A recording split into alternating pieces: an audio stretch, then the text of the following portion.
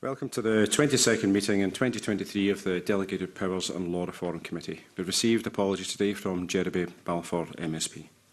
also like to remind everyone present to please switch their mobile phones to silent. The first item of business is to decide whether to take items 5, 6, 7 and 8 in private. Is the committee content to take these items in private? Under agenda item number two, we're considering instruments subject to the affirmative procedure. No points have been raised on the draft Agriculture and Horticulture and uh, Development Board Amendment Order 2023, the draft Land and Buildings Transaction Tax, Green Free Relief, Scotland Order 2023, and the draft Deer Firearms etc. Scotland Amendment Order 2023. Is the committee content to take these items in private? Sorry, sorry. Is the committee content with these instruments? Yeah. Under agenda item number three, we're considering instruments subject to the negative procedure. An issue has been raised on SSI 2023-178, the Legal Aid and Advice and Assistance Miscellaneous Amendment, Scotland, number 3, Regulations 2023. This instrument makes various amendments to legal aid fees and eligibility in Scotland. The committee identified errors inserted by the instrument into Schedule 2 of the Criminal, Criminal Legal Aid Scotland Fees Regulations 1989 in relation to Chapter 1 of Part 3 of the Table of Fees. In paragraph 3, CB1, the reference to paragraph 1AA uh, should be to 1AAE. E.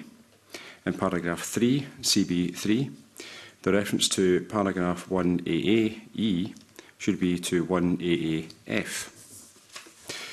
These references are all in relation to Chapter 1 of Part 3 of the Table of Fees. The Scottish Government has confirmed that these are cross-referencing errors and has undertaken to rectify them by correction slip or at the next suitable legislative opportunity. Does the committee wish to draw this instrument to the attention of the Parliament on the general reporting ground for these cross-referencing errors? And at the same time, does the committee wish to note that the Scottish Government has undertaken to correct errors by correction slip or at the next suitable legislative opportunity? The committee also identified an apparent error introduced by the instrument into the same schedule of the 1989 regulations by substituting the word accused for expert in paragraph 16A1B. This results uh, in heads B and D of this paragraph being identical. The Scottish Government has undertaken to rectify the duplication at the next suitable legislative opportunity. Does the committee wish to draw this instrument to the attention of the Parliament on reporting ground H, meaning could be clearer in relation to this duplication, as this could raise doubt in the mind of the reader as to what the provision is intended to say?